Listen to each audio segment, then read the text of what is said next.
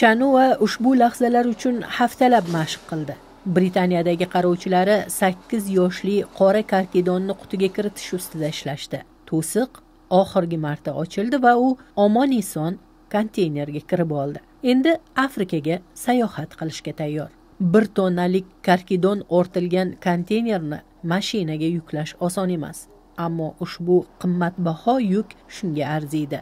Chanuaning sharqiy afrikadagi yangi hayoti tabiatni asrash uchun muhim. U yo'qolib borayotgan qora karkidonlarning ko'payishiga xizmat qiladi. U angliya bo'ylab safar qiladi. Keyin tutqundagi yana ikki urg'ochi karkidon bilan tanzaniyaga uchishni kutadi. Afrikada ular boshqa hayvonot bog'laridan olib kelingan karkidonlar podasiga qo'shiladi.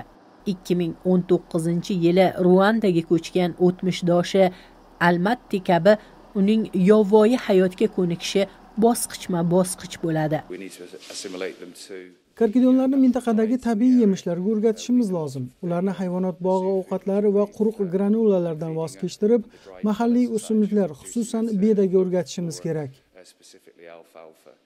Angliya bo'ylab uzoq yo'l yuriladi.